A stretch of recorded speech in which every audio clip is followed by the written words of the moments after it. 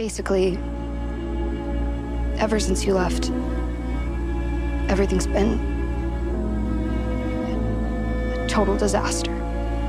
And the worst part is, I can't tell anyone why you're gone. I can't tell them that you saved El's life, that you saved my life. It's gonna be okay. I play that moment back in my head all the time.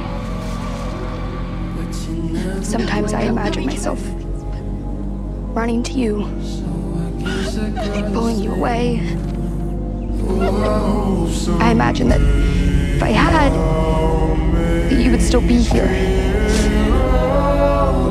And everything would be, everything would be right again. Are you sleeping better? Yeah, fine. It's like you're not even here anymore. It's, it's like you're a ghost or something.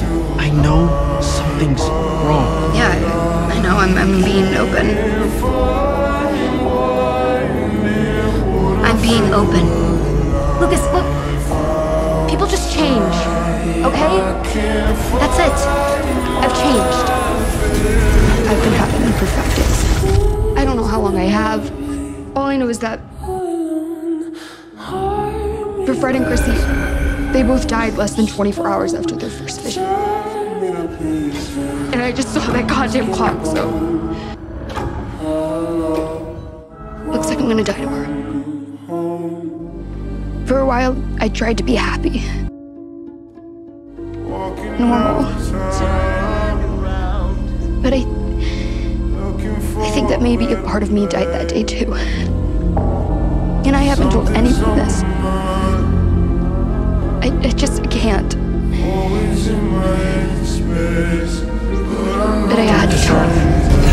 Maxine, you think some feathers are going to make things right?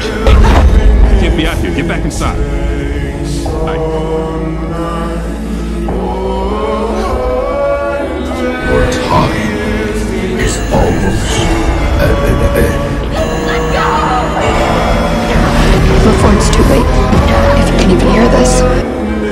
I'm sorry. I'm so, so sorry, but I love your shitty little sister, Max.